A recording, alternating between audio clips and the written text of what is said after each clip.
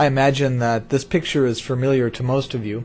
It's the flow of genetic information from DNA through the process of transcription into messenger RNA.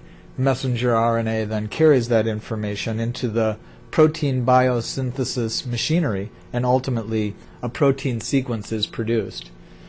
There's a danger in familiarity. We tend to take these things for granted and just accept them. But now that you have a fairly deep understanding of organic chemistry, it's possible to look at this in a new light because I think that you can discover some of the remarkable organic chemistry that must take place in order to maintain a high fidelity from the DNA sequence to a specific protein sequence.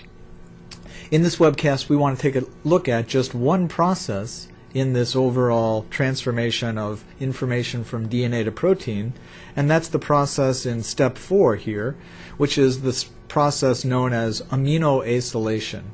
Aminoacylation is placing a specific amino acid onto the corresponding transfer RNA.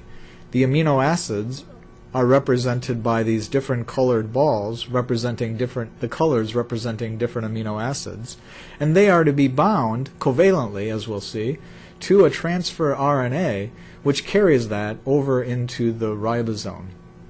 It's important that exactly the correct amino acid be placed on the amino the tRNA that codes for that amino acid in the messenger RNA sequence because a miss aminoacylation would result in a protein that has a mutation which ultimately could lead to disease. So let's take a look at how it is that there is a specific association between the amino acids and the transfer RNA, which is known as the universal code. The universal code is a three a sequence of three nucleotides on the messenger RNA that codes for a corresponding amino acid. So, for example, the three letters AAA, three adenines, code for lysine. We'll take a look at CUU, which codes for the amino acid leucine, in the next slide.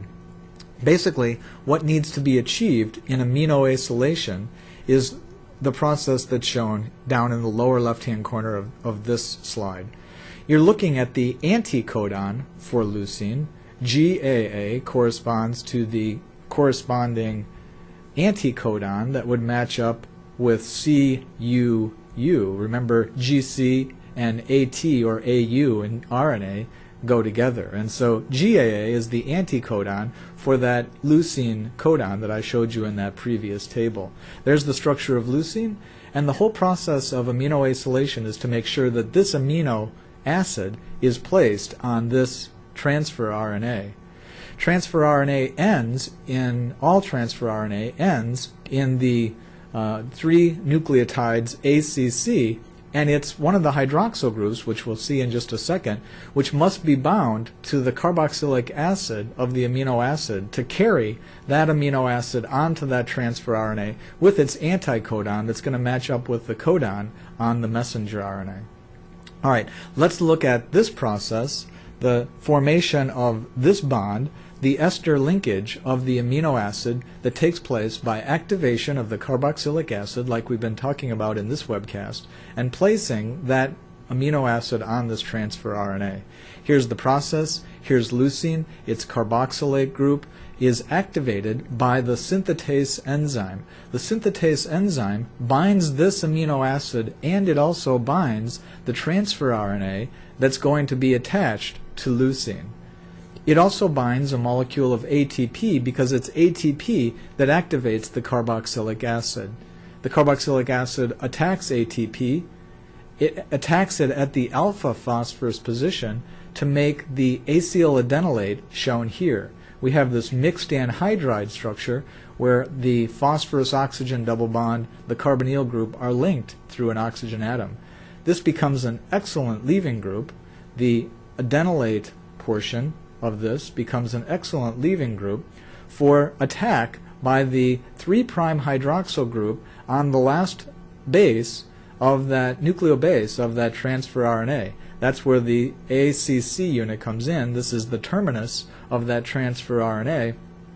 And it's the 3' hydroxy group that's the nucleophile that does this nucleophile addition to a polarized pi bond followed by beta elimination. Again, this is a abbreviated set of arrows to show the two-step reaction sequence. The elimination then in the beta elimination is the AMP molecule, and we have the transfer RNA for leucine, the leucine transfer RNA with its anticodon GAA bound to leucine as a covalent conjugate. That's the process of amino aminoacylation. Misacylation, misacylation, which would result in infidelity of protein sequence to DNA sequence, would result, for example, if we put valine onto the transfer RNA that codes for leucine.